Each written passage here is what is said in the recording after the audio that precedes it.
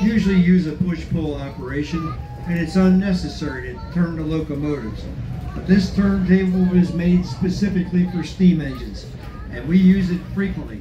That's coming up on the left side, Jim Thorpe Rail Yard and our turntable.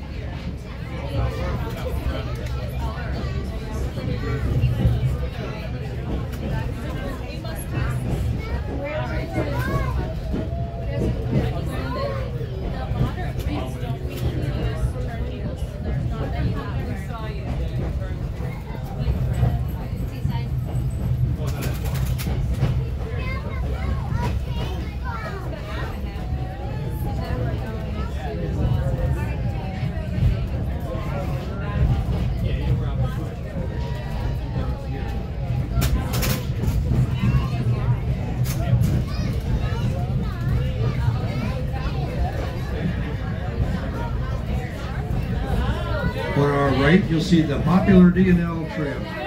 This hiking and biking trail, created by the Delaware Lehigh National Heritage Corridor, runs 165 miles from the city of Wilkes-Barre to Bristol, Pennsylvania, down in Bucks County.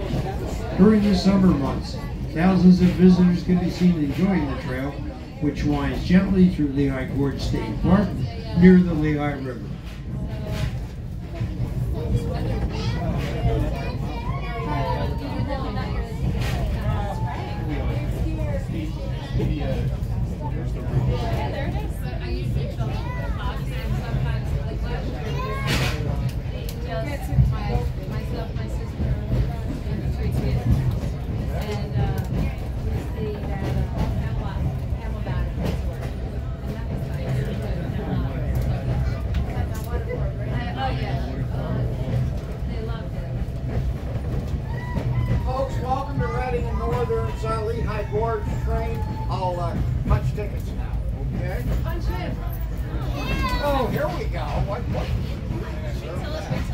Say hi. Say hi.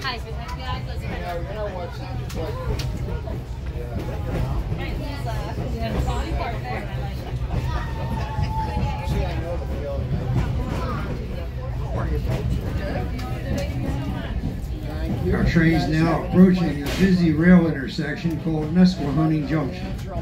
If we were to follow the track to the left, we would travel to the towns of Nesquehoning, Tamaqua, and Reading, crossing over the hometown high bridge.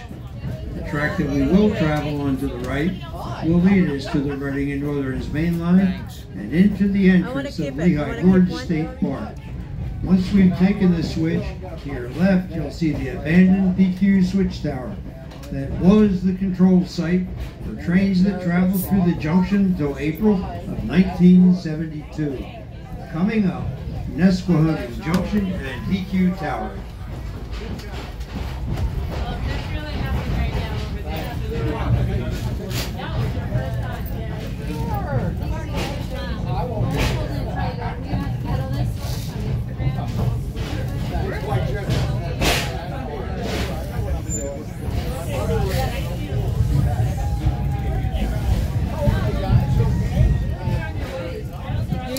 Boston, two hours. Two or three hours. My Almost husband. immediately after we Uh, pass PQ Tower, a our train will be heading out there. on the Nesquehoning So we Bridge. went This bridge From New York provides a connection for by both train. rail and pedestrians between Jim Thorpe and Lehigh Gorge State Park. Over on the bridge, we'll be 84 feet over the Lehigh River. Looking downriver to the right, way off in the distance, you're just going to be able to make out a piece of the town of East Jim Thorpe, but some stubborn, stubbornly still refer to it as East Mauch Chunk. On the left side, you'll see a new bridge. This bridge connects Reading and Northern's Reading and Lehigh divisions, and it was constructed by the railroad to expedite moves between Reading and Scranton. It officially opened for rail traffic on February 4th, 2020. In other words, to the left, that bridge is the main line. We're on the Jim Thorpe branch about to switch onto the main line at the Coalport Bridge. Yeah, I can see it later. up there, you see the house? Yeah, it's later.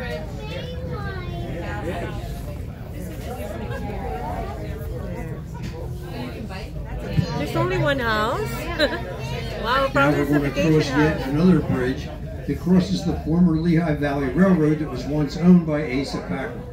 It passes over the Reading and Northern's Lehighton Branch, as well as the Norfolk Southern Lehigh line. Coalport Bridge.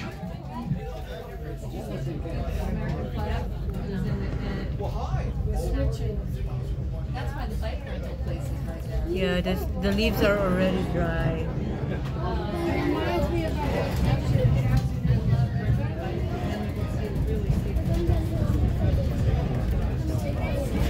Still do it during the winter? The train? Oh, In a few minutes, our train will cross the Lehigh River for a second time on the Glen Onoko Bridge. I'll give you a heads up when the engine's out there. When we're on the bridge, look to the right, you'll see a sharp bend in the river where it comes right towards the bridge. At one time, right on that curve in the river, there stood a magnificent hotel called the Hotel Wahnetah. Oh, it was built in 1886, was a four-story luxury hotel, and it was one of the highlights in the area. It boasted 47 elegant rooms, as well as dining areas, tennis courts, and an 84-foot long bar. Guests to the hotel were able to take in the sights along the Lehigh River and Glen Onoko, while also enjoying horse and carriage rides.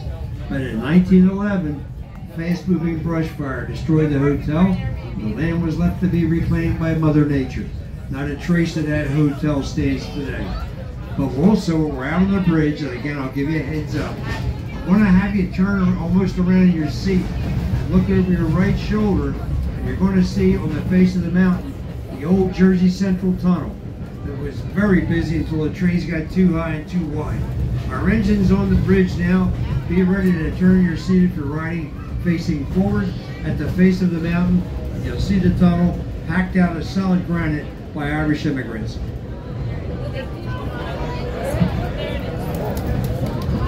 If you missed it, we'll catch it on the way back. It'll still be there.